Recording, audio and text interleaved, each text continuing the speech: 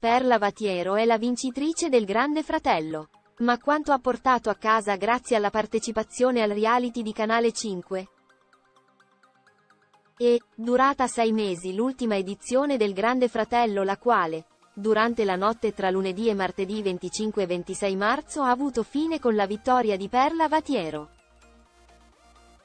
La GFina è stata in grado di ottenere il primo posto a discapito di Beatrice Luzzi, ottenendo il 55% dei voti a differenza del 45% conquistato dall'attrice la quale ha portato a casa soltanto il secondo posto.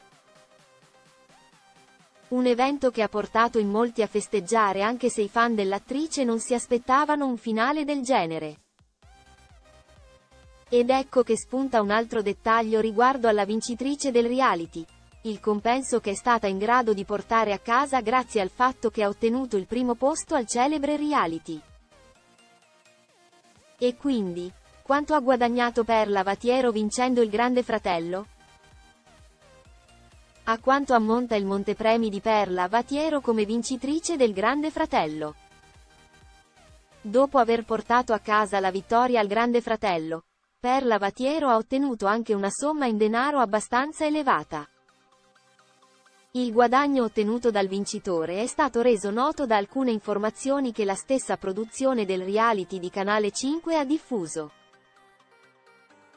Per Alfonso Signorini quest'edizione è stata decisamente molto importante in quanto è possibile affermare che è rimasto soddisfatto di questa avventura che ha vissuto insieme a Rebecca Staffelli e Cesara Buonamici.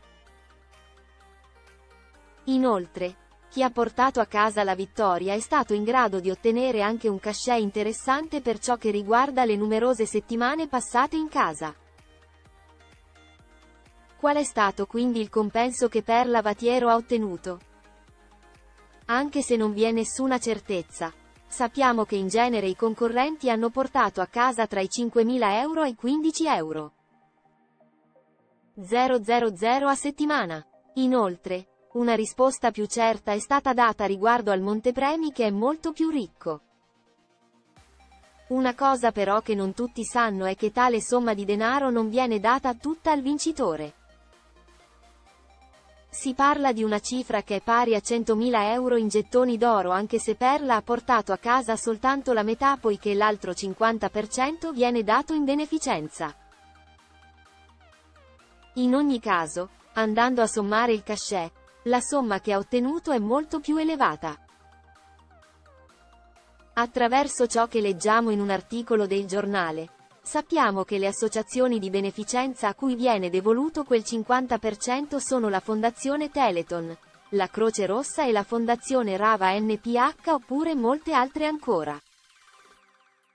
Insomma, l'associazione verrà scelta proprio dal vincitore del reality.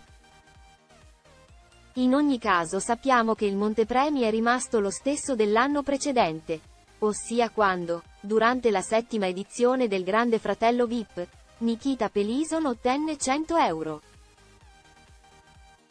000 come vincita per donare 50.000 euro ad un'associazione che si occupa della protezione dell'ambiente.